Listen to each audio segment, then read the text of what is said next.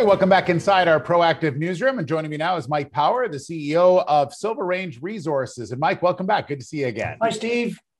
So, uh, really interesting news release out today that you have uh, optioned your legal tender property uh, to Quartz Lake Mining. So, first off, tell me a little bit about legal tender. Right, legal tenders. Uh, it's northwest of Tonopah, about uh, 35 miles. It's uh, basically a high grade epithermal silver camp, but there's some gold in it as well. The, uh, the property covers, uh, there's two mineralized trends on the property. There's a main trend, and then at right angles to it, there's the Highland trend. Uh, and we've been exploring along both of them. We pulled uh, samples out of there running up to 1,800 grams silver and about five grams gold. Uh, and, and had been working away on it, had run some geophysics and soils and had nice targets developing. Quartz Lake Mining came along and they're, uh, they were interested in looking at it for uh, high grading or small tonnage production. And um, we uh, were able to come to a deal and, and move ahead. Hmm.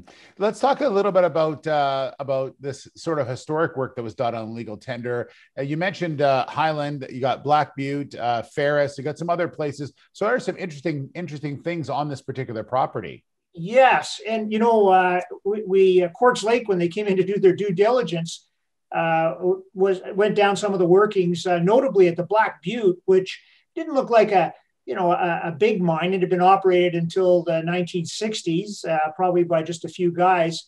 Uh, but they found that you know they had 130 uh, feet of shafting. They had uh, workings on two levels, over 150 feet of drifting, and then there were some connector shafts off to the uh, basically off to the north that uh, we we didn't know how they all fit in, but uh, during their due diligence, Quartz Lake figured some of this out, took some samples, they were happy, and uh, were able to move ahead. Yeah, and, and these uh, these folks from from Quartz Lake, they're they're they're good old fashioned miners, right? They're looking for something here, big time. They're they're they want to get roll up their sleeves, get down to business. they're not a promotional company. Uh, they contracted uh, Nevada Rand Mining, which is our experienced small mine underground uh, contractors, to uh, come in and have a look at things. And they like what they saw and said, saw some potential, and uh, we uh, were able to move the property ahead. Mike, you and I have talked in the past about the structure of these deals that you do, and this is pretty similar to that. Includes some cash, royalties, and a bunch of other things. Like this is a pretty standard one for Silver Range. Uh, yes, I'd say so. The terms are basically is 430k in uh, in cash uh, over four years, uh, and with a, a, down that's of course already made. And uh, there's a royalty, and the royalty is structured around a, high grading operation, so it kicks in at a pretty low tonnage, uh, unlike many conventional royalties, which are usually happen after a production decision.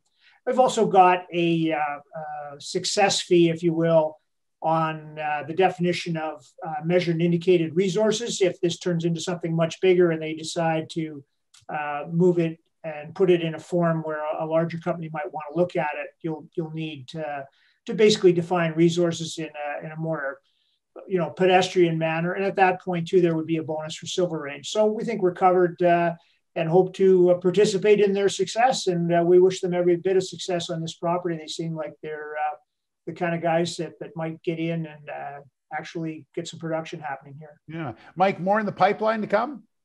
Absolutely. Uh, I we just got back from Nevada and back back in the Yukon quarantining for a couple of weeks, uh, and uh, where results are starting to come in. We've got uh, some news to come out in the next week or so, and uh, we look forward to uh, likely going back to Nevada. It'll be most of our work this this season. We might do a little work up north, but things are looking uh, very busy in pro- perspective down south, and uh, we'll probably follow the main chance. All right. Well, we'll look forward to that. Uh, Mike, thank you so much. Great to catch up with you. Hey, thanks, Steve. Appreciate this. All right. There's Mike Power, the CEO of Silver Range Resources.